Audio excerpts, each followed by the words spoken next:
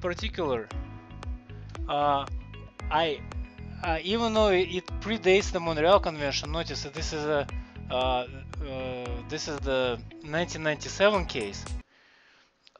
It uh, um, uh, talks about the Warsaw Convention, but remember the Warsaw Convention uh, itself is the, is a predecessor and has been in many of its provisions and the 34 interpretations, including the agency provisions, have been grandfathered into the uh, Montreal Convention itself. So there was an armed robbery, right? So the uh, and uh, this took place within the JFK International Airport, and uh, uh, this uh, the, the, products were involved, that, which were involved were Bul Bul Bulova Corporation products. in case some of you um, some of you may hear, some of you may have not, but Bulova, Bulova is a trademark of uh, this very uh, luxurious items. So uh, they, were, they were probably high value commodities. Let me see. I think they still are. Yeah. So it's these guys. So so high value shipment of Bulova, and uh, this was not even a theft this was a this was a robbery. So uh, Singapore Airlines uh, brought the stuff to the JFK. The uh, it uh, delivered them to the uh, the freight forwarder called Cont Contact Air Services, and uh, they, at Contact Air Services premises, the robbery took place. So the shipment was uh, from Hong Kong to New York. So the parties are part of, of the convention. And uh,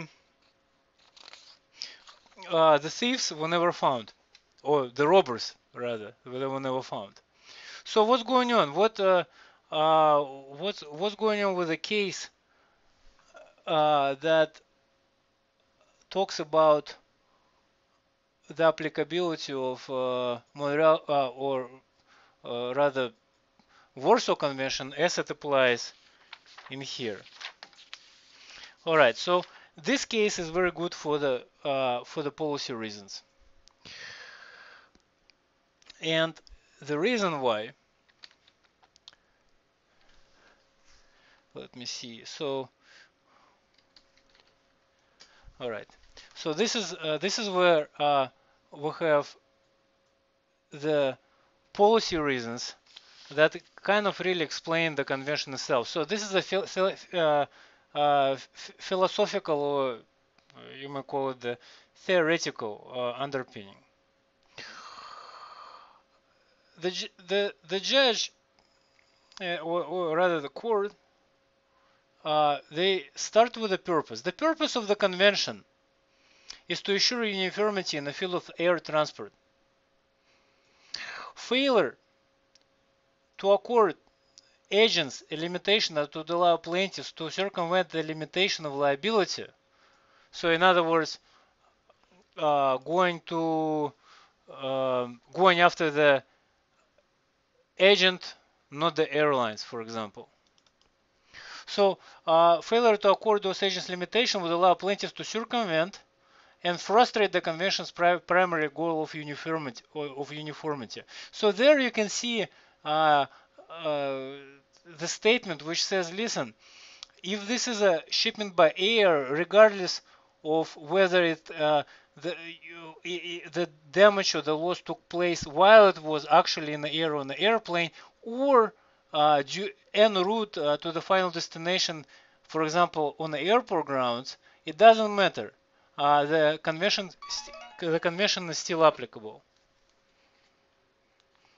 So here uh, the court goes on to make to, to, to make the, the, the, this remarks. The policy that supports the granting of limitations to agents also supports connecting that limitations to that of the principal. If the limitation is extended to agents, it is merely to ensure that the plaintiff may not or well in this case insurance company may not circumvent the carrier's limitation by suing agent which would in turn turn claim over against the carrier. So the policy here uh, the, uh, the public policy here, uh, which uh, is expressed through um, uh, through the um, Southern District. So this is the same court which uh, we, we, we talked about in the case of the expediters, right? Uh, the same policy, the policy here, you can trace it up, is favoring the applicability o- of the Montreal Convention to um, uh, to the freight for, uh, to, to the freight forwarding community, which deal with uh, um, with the air freight.